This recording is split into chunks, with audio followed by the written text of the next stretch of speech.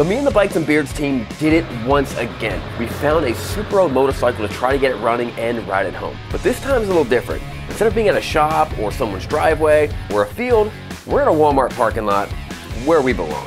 All right, so here's what's going on. Here's why we are in the Walmart parking lot somewhere in Jim Thorpe. Uh, we bought a motorcycle, very, really awesome motorcycle at an estate sale. We picked it up. We were not able to put it, get it running there. He didn't want to be on camera. I didn't want the property on camera. So we took it to the next closest place. We got this tent it's raining and we're gonna show it to Craig for the first time. He doesn't know, but he doesn't know what it is. I tried my best to keep it a secret from Craig. This bike means something.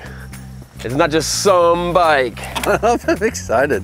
I get so many surprises. Should I shut my eyes? Yeah, sure. Uh, yeah, you, you close your eyes. I'll it. All right. It's another 45 WLA. It's probably a 42, just like our other bike, but instead of red, this one's blue. But this is a non-race version. This one's not all been raced out. It's actually in pretty decent shape. So me and Craig were having this big debate of what color do we paint the other one. I wanted blue. He wanted red. The other one was red. Well, now we don't have to paint the other one blue. We can just paint it red like Craig wanted because we got a blue one. We, we loaded this bike up pretty quick. We got out of there as fast as we could, and now we're gonna get to really look at it and see what we got. No, I can hear you pushing it. It sounds fast. All right, Craig, check it out. Oh my gosh. That is a 45, isn't it? I got another one, yeah. Flathead. An actual WLA. Wow. That's funny. So Craig and I took a few minutes to look over the bike, but we had no time to waste. So we did our secret handshake and then set off to breathe life back into this 80 year old artifact.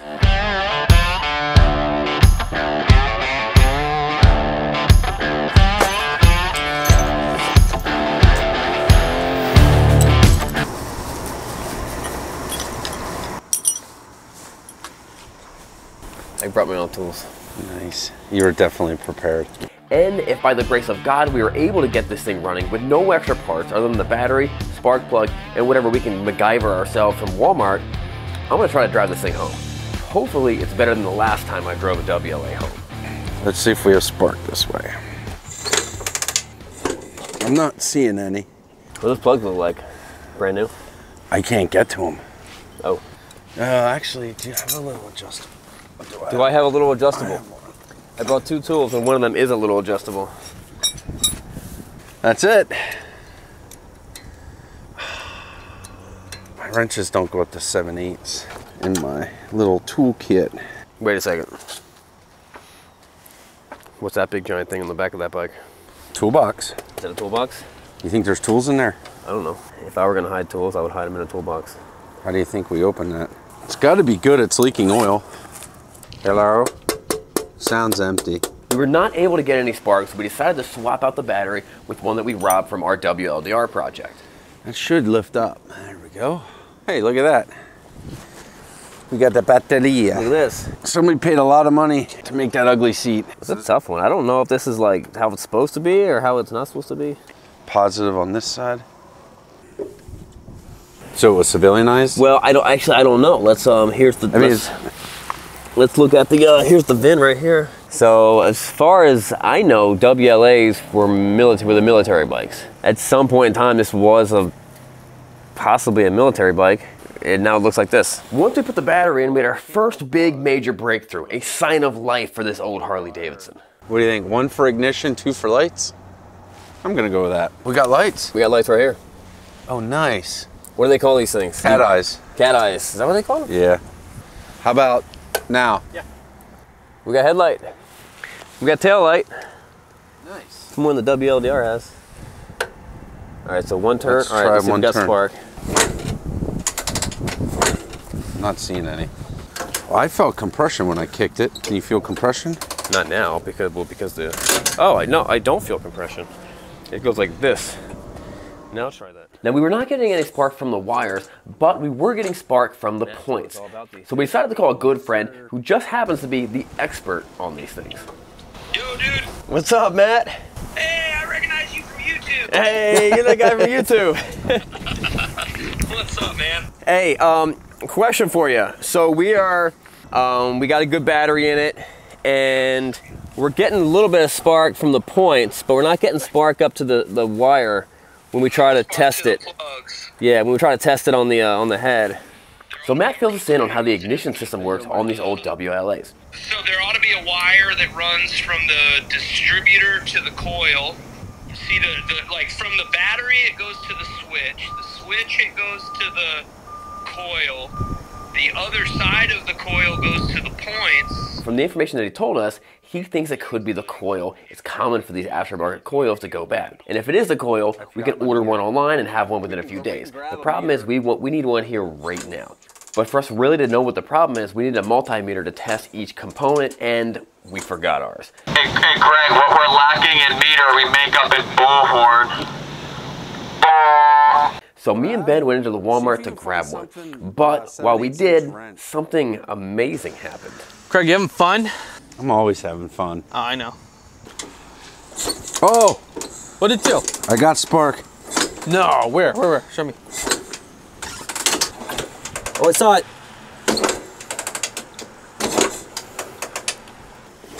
What up, guys? This is Temp Sean. I'm here with Craig. He's fixing a bike.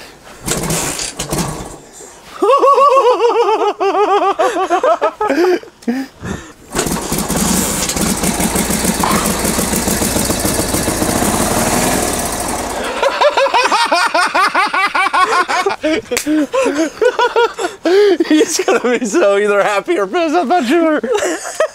I'm not sure. I'm not sure what the deal is with this gas. I think we lost it. We had it running. Nuh-uh. Yeah. Nuh-uh. Uh-huh. Dan, come on. It was running? For for a brief moment. You got still you, so you saying we got spark? Yes. I feel like I just lost spark, but we had it running. Like five seconds. Something like Uh, that. I don't Yeah. It, it ran for a little bit. It stopped. I'll believe it when I see it. How'd you guys make out? We found a multimeter. Wow. And some wrenches. First we got some wrenches, then Ben was like, hey, there's missing a bunch of wrenches. A bunch of wrenches were stolen out of the pack. Tell me, Craig, how did it sound? It it sounded good enough that I'm excited. So what what did you do? I was playing around with spark plug caps a little bit. The ends. Yeah. I'm about ready to just break these fins off. Um, there's a chance I have it flooded now. Oh man. Bam, nailed it. Very wet. Very wet. Uh, I did, it didn't run. I think it pumped some up because the top of the tank was wet. I see a piston in there. I'm never gonna get this spark plug out of here, am I? Is this supposed to be an oil outlet? Drain. For, for when for when, for when people put gasoline in it. Who would do such a thing? it wasn't as low as I thought. Oh no, I put it in. oh shoot! What are some other options here? We can pull the engine. Oh, we could pull the engine. I think it was just flooded. I'm going with flooded. Let's be honest. This is the most Walmart thing you can do. Rebuilding your Harley Davidson in the parking lot of Walmart. This right here should be what's on the Georgia state flag. Except there should be a big oil stain below us. That'd be more appropriate. And a lady and a wife beater yelling at you. Now that we think we're getting semi-consistent spark, and it has fuel, and we assume that it has enough compression for it to run because it ran earlier for a moment, we are now ready to fire this bike back up. Okay. Let's uh do do the whatever starts it and yada yada magic. Oh, it gets a little lightheaded. You gonna pass out? I'm working Go on near it. the cliff if you're gonna pass out. I'm working on it. Key one switch. This thing, half turn, half turn. Oh yeah, we're we're putting fuel out of the carburetor. Oh, we didn't do it with the choke. The choke was on. Maybe now the choke should be off. Yeah, see whoa. What'd you do, Craig? I don't know. Something What just I blew do- out the. What was that? Do you see that? Should we start kicking it? Uh, just uh, I don't have that plug in, so just nice and easy. Yeah, okay, now we got spark. Oh, you got spark from the, from the plug? Yeah. Whoa, that almost ran on one cylinder right there. I haven't been this excited since the last time I heard it almost run. Choke.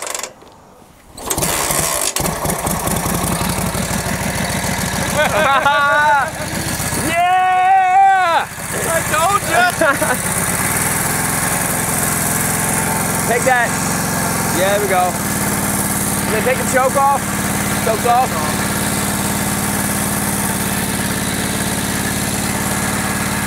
This is amazing. It's learning a lot of stuff. Yeah, we want to kill it and check the oil. Yeah, yeah, yeah, yeah, yeah, yeah. It idles. It does. The generator light's still on. Pop that, pull that dipstick, see what that looks like. I'm gonna throw this on a while. yep, not enough. I don't know how long it should run before it starts pumping. I think that's the oil light, and the oil light went out. Why does it say that's danger, that's refill, and anything above here is good? Um, stand that bike up. Can Okay. you see? Um, oh, Matt said that Dan needs to lick this. And I was like, nah, that's the growth. He's like, no, no, someone's got to lick it. I It's have got to lick it. It's got to be Dan. I was thinking about it. This bike is 80 years old. I don't think the modern vehicles that we have that are 80 years old will be able to be fixed in a parking lot in like what is 80 2020 Okay, let's fire it up. Let this thing run and run out. sort itself a little bit. That's what that's what motorcycles do. They sort themselves.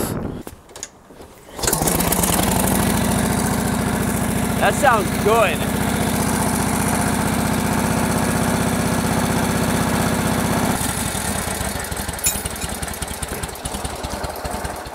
I don't know what that is, but I see Where was it coming from?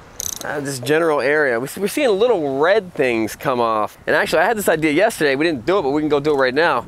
Um, but we need a fire extinguisher. So before we let it run a little bit, let's make sure we have a fire extinguisher. Because at the very least, then you can put it out before the whole thing gets destroyed.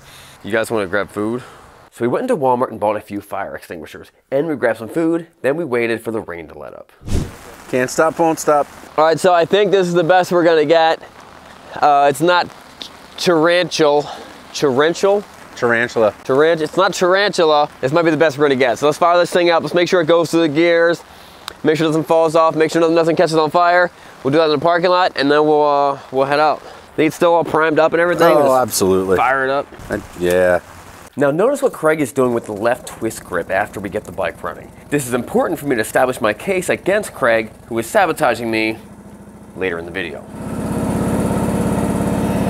Which way is choke off?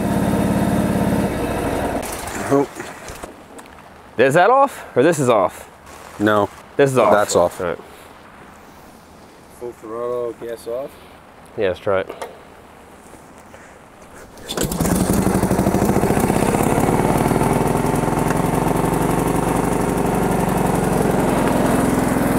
Oh man!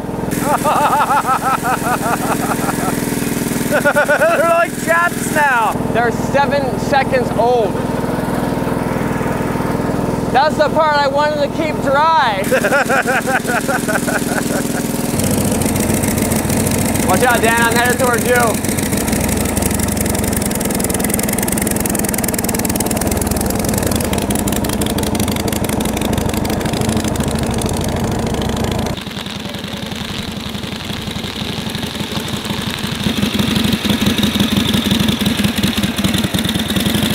So as I climbed onto the 1942 Harley, which is one of the oldest and most archaic bikes I own, Craig jumped on the new KTM electric dirt bike, which falls on the complete opposite side of the spectrum in terms of technology. In the perfect combination of new and old, low tech and high tech, we pushed on towards home, and to be honest with you, I'm not sure which bike I'd rather not be on. The 80 year old bike that hasn't ran in 30 years, or the electric motorcycle in a rainstorm.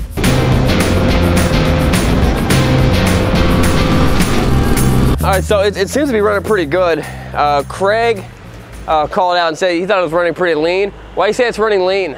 Because when on decel, you're that, that It's back pop- part of that pop, is and it- it's is a it- lean. Is it throwing flames? No, but it's a lean misfire, is what it sounds like.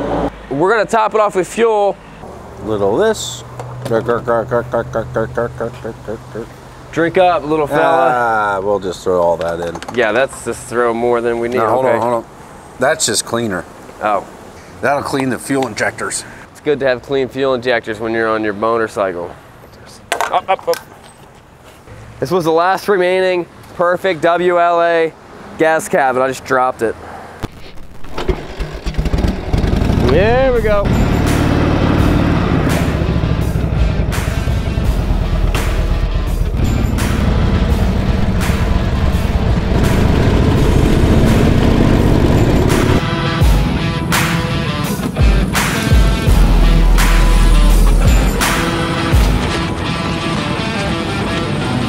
Now these old stock 45s, they call them 45. I, actually didn't know this. And I thought that they called them 45s because they were all titled as 45, but I think they're actually more, mostly titled as 42. Um, they call them old 45s because of the 45 cubic inch motor. But these old 45s, they didn't make big power. I'm actually not sure of how much power they made, but I don't think it was that much more than 20 horsepower. But what they were good at is they were reliable. And that's what Harley Davidson made them for. For the military, they just ran. They just worked very well. They were low compression engines. You could swap the motor out real quick. Just keep them going. And you can tell, because uh, 80 years later, this thing's still putting around.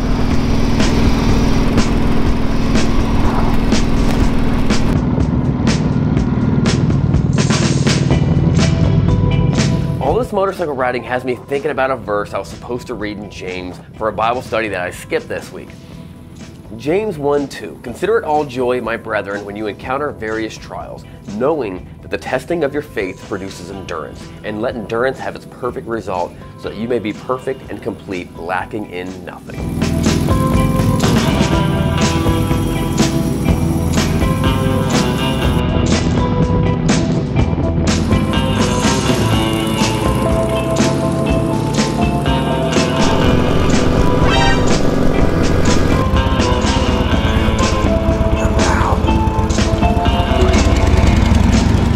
Just as I was getting in the groove of things, Craig's bike failed him, proving once and for all that electric bikes are stupid. Now Craig and his precious electric bike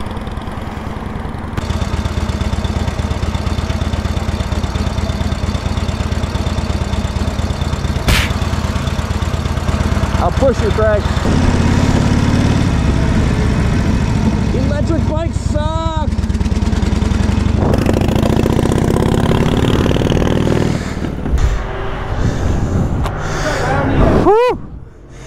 I ran out of e-juice. All right, so we're about an hour and a half, hour 20 minutes away from where we're trying to go. The electric bike ran out of juice. That's what Craig was riding as the uh, chase camper vehicle. Uh, my bike seems to be running pretty good. So we're gonna keep on, uh, we're gonna keep on rolling Keep on trucking. without Craig. Craig's gotta walk home now. Dang. All right, you can ride in the van. I'll we just got, we got room. thumbs. I'll show a little leg. Show some leg. Show a little bit of chest.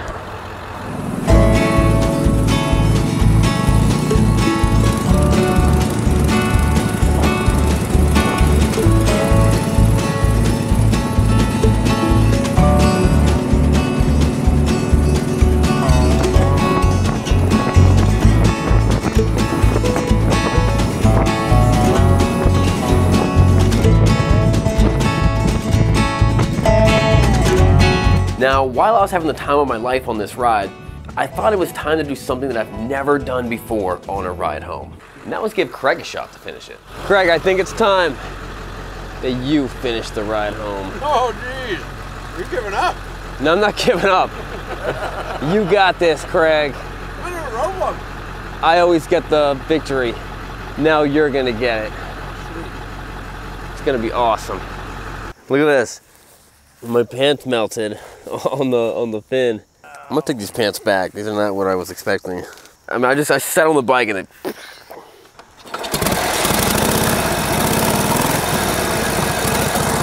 You did it.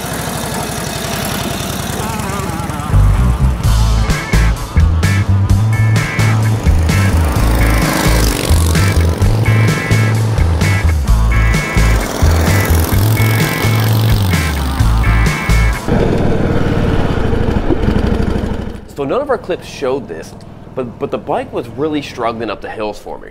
but not for Craig. And remember when I accused Craig of being a saboteur? Well, here's the rest of that story. Did you play with this at all? Well, you're. I think we were backwards. So when you pull it and it's in this position, it cleans up.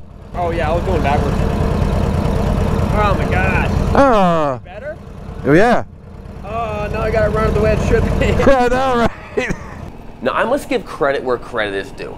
They're, these bikes are not easy to ride because almost all the controls are different except for the throttle. But Craig is doing a great job. That's why I'm proud to consider Craig my mechanic.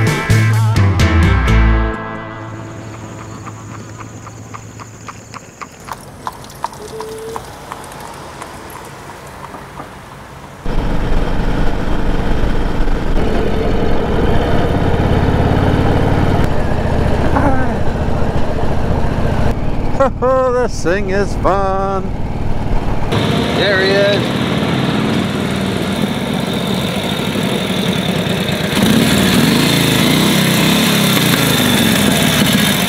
Woohoo! Made it. This is a good running bike. What do you think you told me about this? Oh yeah, it goes this way, not this way. This, you want it like running is there. I want both of them back. Yeah, that's what you want to do. Like, All right, so I got a body shop buddy that I'm gonna give a call. Hey, Robbie. What's going on? Hey, how are you? Hey, man, I got a question about a bike. How um, uh, Robbie's in Utah. What, what time is it over there? Two. It's 112. Nice. Hey, how, how soon could you get over here? I want to show you a bike that I got. You, do- next week, or can you be here sometime soon? Could be there probably next week. Cool, cool. And then I'll we'll, I'll show you this thing, and you can tell me what uh what it needs and what what the deal with it is. All right. So, oh, let me hang up the phone. So Robbie's gonna fill us in on what this thing needs. Oh, sorry. drink, drinking out of my container. I was thirsty. Well, while you're here, I got a bike I want to show you. Here it is, 1942 WLA military bike. This is the motorcycle that won the war. This one's in really good shape, except for I mean, like look at the It's actually look at the paint. It's awful. well. It's, it's not that it's awful. It's just old school. Is it? So this looks like a single stage from back in the day. So it probably doesn't have clear. Bodywork's not terrible. That's cool. Look at this. They finished out their welds. They didn't even do anything besides just grind them. what period was this paint job? This is industry standard from probably, yeah, I'll, I'll bet it was 60s or 70s. Really? Yeah. But it's in pretty dang good shape. So here's here's a problem with it. It's not the color I want. It's not original anymore. You don't like blue? I like blue. Listen, I, I like blue. I don't like this blue. Okay. And it has way too much chrome on it. This, this, this, this, this, this, this rack, this stuff. All that, it, it's, it's, it's got to come off. And I want to redo the bodywork. Not right now, but I could probably try to figure out a good bodyman. Maybe a painter. And, All right, uh, I found one. You did. Yeah, it's out in Utah. All right. So I think You, I you gonna paint this one for Yeah, me? I think I could hook you up. Rather than shipping the entire bike, it might just be easier if you just stripped it down. Ride, ride the bike over. Well, yeah, yes, ride it from Pennsylvania. That would suck. um, maybe send the tins out, Okay. and then we just take care of it for that, and then we can ship it all back. Is it safe to say you can get this thing better than brand new? Absolutely. Let's do it. All right, guys. We'll see you guys next time. Subscribe, and soon this is to be over at Robbie Layton's channel. We are Robbie Layton Nation. You can just look us up as Robbie Layton on YouTube and check it out.